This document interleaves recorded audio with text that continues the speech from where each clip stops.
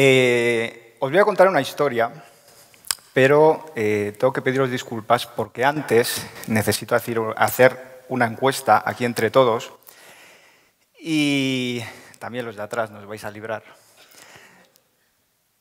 Y os voy a poder, lo, lo primero de todo os voy a pedir que os pongáis de pie. Y lo siento mucho, pero tenéis que hacer más muy rápido porque no habrá mucho tiempo. Todos de pie, los de atrás también. ¿Vale? Ahora es cuando digo que era broma. No. Vale.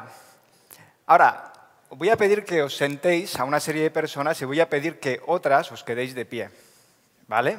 Por favor, no hagáis trampas, sobre todo intentar pensar y ser, ser sinceros, ¿vale? Voy a pedir que os sentéis, antes de hacerlo yo os daré la orden de ya, ¿vale? Os voy a pedir que os sentéis las personas que no, bebís, que no vivís en zonas rurales. Y voy a pedir que os quedéis de pie los que vivís en pueblos o zonas rurales. Esto es para simplificar, ¿vale? Por favor, a ver.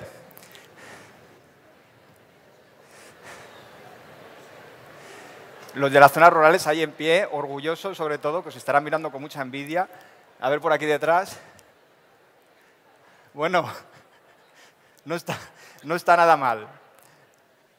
Bueno, nos hacemos una, una, una fotografía muy interesante. Vale, ahora podéis sentaros todos, por favor. Bien. Siento deciros que ahora os voy a pedir que os levantéis por segunda vez, pero no os preocupéis, no os tenéis que levantar todos, ¿vale? Vale, ahora la segunda pregunta y última pregunta. Vale, esta, ojo, que la voy a matizar, ¿vale? Para que no haya, no haya género de dudas. Os voy a pedir que os levantéis los que tenéis pueblo, ¿vale? No os levantéis todavía, esperar, os voy a esperar que voy a matizar.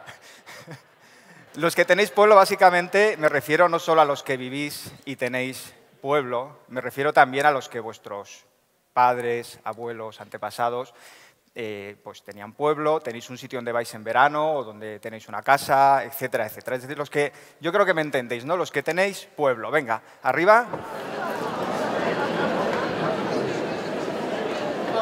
Wow. Muy bien, muchas gracias. Ya os podéis sentar, ya hemos hecho la encuesta. Bueno, pues yo, yo, también, yo también tengo pueblo. Y os lo presento. Se llama Prioro. y Prioro...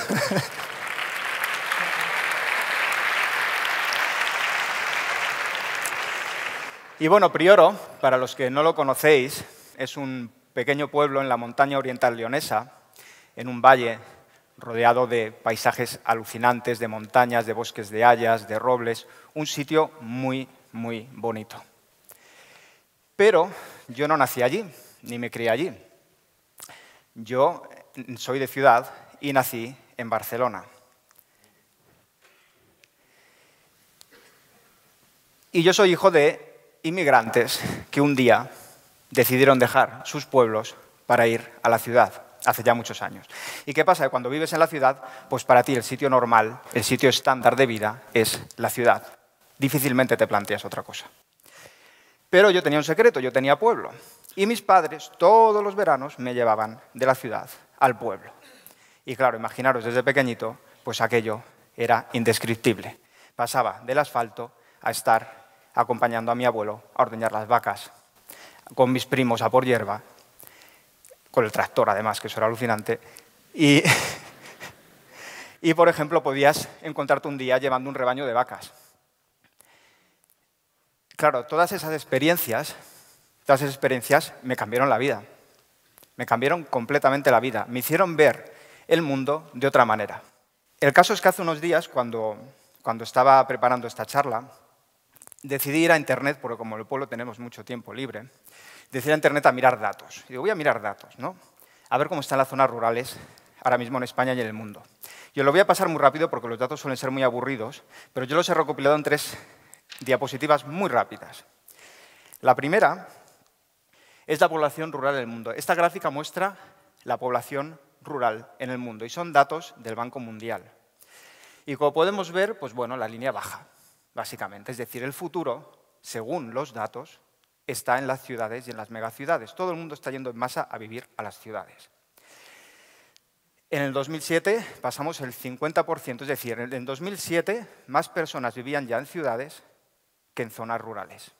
Pero es que aquí, en España, la situación es mucho más curiosa.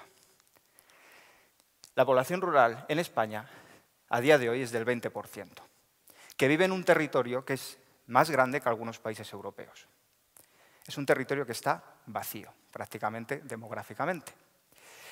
Como podéis ver, ahí en 1980 pues la cosa se frenó porque fue esa gran inmigración, la que incluyó, por ejemplo, a mis padres, pero desde entonces la línea no ha parado de descender.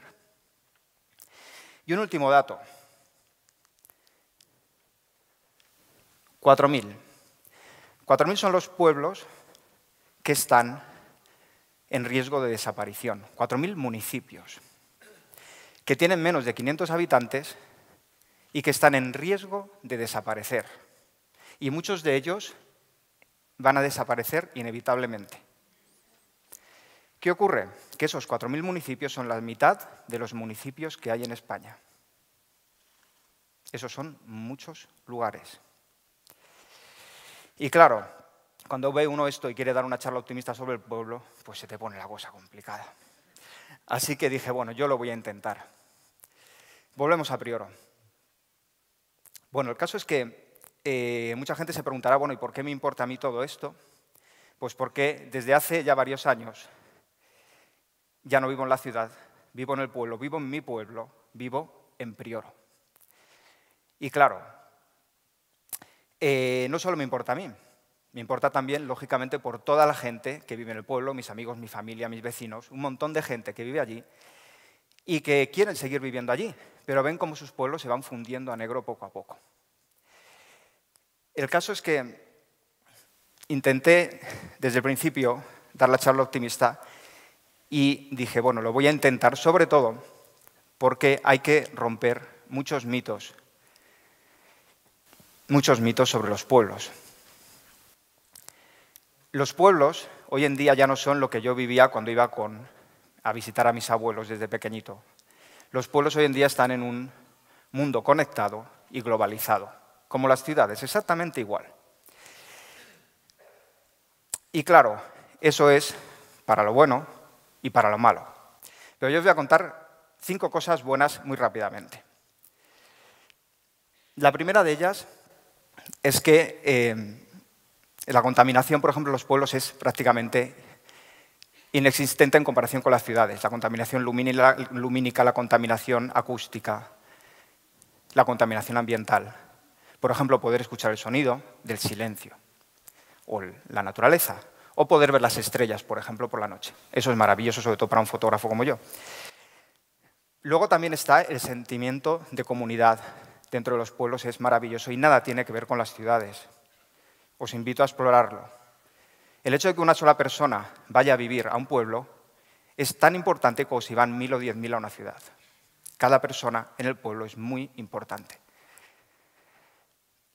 Luego, la calidad de vida, la vida sencilla. En los pueblos se vive mejor con menos. Y eso es lo que yo he podido comprobar desde que estoy allí. ¿Por qué? Porque te quitas lo imprescindible, o sea, perdón, lo prescindible de la vida. Lo acabas quitando, porque en la idiosincrasia de un pueblo es así. Y luego está también otro tema, la relación con la naturaleza. Estamos dejando de conocer la naturaleza, porque vivimos en ciudades. Y el conocimiento de la naturaleza es muy importante que lo conservemos, porque si no nos pueden pasar cosas como esta noticia que vi hace dos semanas en Internet. 16 millones de norteamericanos creen que la leche con chocolate proviene de vacas marrones.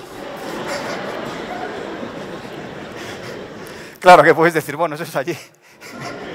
Pues no. Eso es porque allí hacen esas estadísticas. Pero si la hiciesen aquí, imaginaros, yo que sé, que el queso azul, como es azul, pues proviene de vacas azules. Yo qué sé. Mucho ojo, porque esto es broma, pero por si acaso, este fin de semana hacer una visita al campo. ¿Vale? No os pido que ordeñéis una vaca, pero bueno, le podéis hacer una foto si queréis. Bien. Bueno, y por último, Internet. Internet ha cambiado la vida en los pueblos. La ha equiparado prácticamente a las ciudades. Y, por ejemplo, pues ahora hoy en día la comunicación, el acceso a la información, el acceso a las compras, podemos comprar lo que queramos, no lo traer a casa, el acceso a la cultura, poder estudiar una carrera a través de Internet, conozco mucha gente que lo hace, o una cosa muy importante para mí que es trabajar, porque yo trabajo a través de Internet y eso me permitió ir a vivir y quedarme viviendo en Prioro. Esta es una fotografía de mi abuelo, mi abuelo Benito. Y esa es la época, más o menos, en la que yo iba de pequeño a visitarle. En esa ventana que veis a mano derecha, en esa ventana estaba la cocina, la Trévede, y mi abuelo, durante los veranos, me enseñaba a leer ahí. Ojalá, ojalá, él estuviese aquí para ver que 30 años después yo estaría en esa misma casa, detrás de esa misma ventana, una casa ya nueva, diferente, pero en el mismo lugar, con mi oficina montada, trabajando a través de Internet con clientes internacionales, cuando no estoy de viaje o cuando no estoy en un rodaje. Estoy ahí, en esa misma casa, en el mismo lugar, en el mismo pueblo. Y entonces pensé, es posible. Si yo estoy allí, otra persona puede encontrar su método para vivir a un pueblo si quiere vivir en un pueblo, y en un pueblo se vive muy bien. Porque lo que más me planteo ahí es el futuro de los pueblos. Tenemos que pensar cómo queremos que sean los pueblos, nuestros pueblos, en el siglo XXI. Porque si no, un día os presento a mi sobrino Héctor, que ya ha visitado dos veces el pueblo y tiene un año y medio. Y si un día él, mi sobrino Héctor, así de pequeñín, crece y dentro de 30 o 40 años estuviese aquí mismo dándonos una charla a todos nosotros y nos preguntase, ¿quién tiene pueblo que se levante? A lo mejor no se levanta nadie. Muchas gracias.